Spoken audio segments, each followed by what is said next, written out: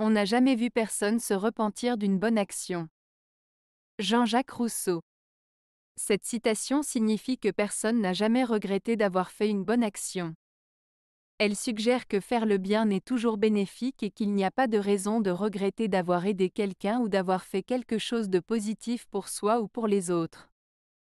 En fait, cela peut même donner un sentiment de satisfaction et de bonheur.